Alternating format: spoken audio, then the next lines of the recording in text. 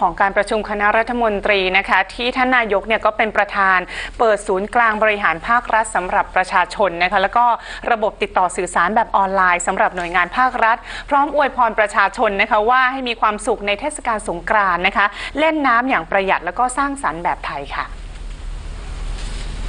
พลเอกประยุทธ์จันโอชานายกรัฐมนตรีและหัวหน้าคณะรักษาความสงบแห่งชาติ หรือว่าคอสชนะคะเป็นประธานการประชุมคณะรัฐมนตรีตามปกติ โดยมีวาระพิจารณานะคะประกอบด้วย นายวิษณุเครืองาม รองนายกรัฐมนตรีฝ่ายกฎหมาย ในฐานะกำกับดูแลสำนักงานคณะกรรมการข้าราชการพลเรือนหรือว่ากพ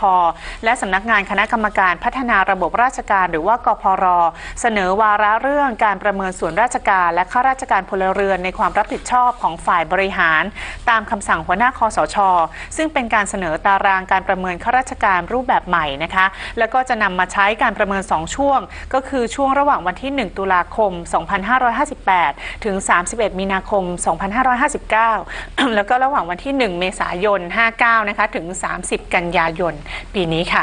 ขณะที่กระทรวงคมนาคมนะคะได้เสนอโครงการรถไฟฟ้าสายสีส้ม ด้านตะวันออกช่วงศูนย์วัฒนธรรม ถึงมีนบุรีนะคะ ระยะทาง 21.2กิโลเมตร หลังการรถไฟฟ้าขนส่งมวลชนแห่งประเทศไทย หรือว่ารฟม ปรับลดค่าก่อสร้างงานโยธาลงไป 2,648 ล้านบาท จาก 95,108 ล้านบาท เหลือ 92,460 ล้านบาท นอกจากนี้นะคะยังจะขออนุมัติแต่งตั้งข้าราชการระดับ 10 ภายใต้สังกัดกระทรวงรวม 3ตำแหน่งก็คือตำแหน่งอธิบดีกรมทางหลวง ผู้อำนวยการสำนักนโยบาย และแผนการขนส่งและจราจร และตำแหน่งผู้ตรวจราชการกระทรวงคมนาคมค่ะ ทั้งนี้ก่อนการประชุมคอรบนายกรัฐมนตรีได้เป็นประธานในพิธีเปิดตัวบริการใหม่ภายใต้ชื่อ ศูนย์กลางบริหารภาครัฐสำหรับประชาชน หรือ Gov Channel และระบบติดต่อสื่อสารแบบออนไลน์สำหรับหน่วยงานภาครัฐนะครับหรือ G-Chat จากนั้นพลตำรวจเอก อดุลแสงสิงแก้ว รัฐมนตรีว่าการกระทรวงพัฒนาสังคม และความมั่นคงของมนุษย์นำคณะผู้บริหารเข้าพบนายกรัฐมนตรี เพื่อติดเข็มกลัดดอกลำดวนเนื่องในวันผู้สูงอายุแห่งชาติปี 2559 ปลัดกระทรวงมหาดไทยนำกลุ่มเกษตรกรและภาคเอกชนเข้าพบนายก เพื่อประชาสัมพันธ์เผยแพร่ผลิตภัณฑ์ที่มีชื่อเสียงของจังหวัดอุบลราชธานี ต่อจากนั้นปลัดกระทรวงวัฒนธรรมนำคณะผู้บริหารและเจ้าหน้าที่เข้าพบนายกรัฐมนตรี เพื่อประชาสัมพันธ์กิจกรรมรณรงค์ เนื่องในเทศกาลสงกรานต์ประจำปี 2559 สงกรานแบบไทยใช้น้ำอย่างรู้คุณค่า พร้อมมอบขันที่บรรจุอุปกรณ์การเล่นน้ำสงกรานแบบไทย โดยนายกรัฐมนตรีกล่าวว่าขันแบบนี้มีประโยชน์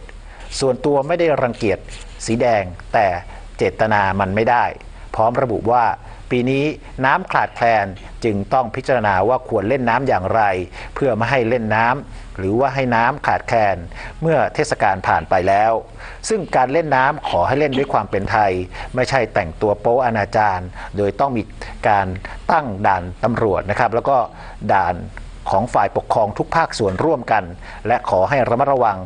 อย่าพกอาวุธ หรือทำอาณาจารผู้หญิงเพราะผิดกฎหมาย นอกจากนี้นะคะนายกรัฐมนตรีก็ได้เขียนไปรษณียบัตรอวยพร ให้ประชาชนชาวไทย มีความสุขในโอกาสวันสงกรานต์ปีนี้นะคะ จากนั้นค่ะท่านนายกก็ได้พรมน้ำใส่ผู้สื่อข่าวตามภาพเมื่อสักครู่นี้นะคะ พร้อมอวยพรว่าขอให้มีความสุขความเจริญ และขอให้ประเทศไทยเข้มแข็ง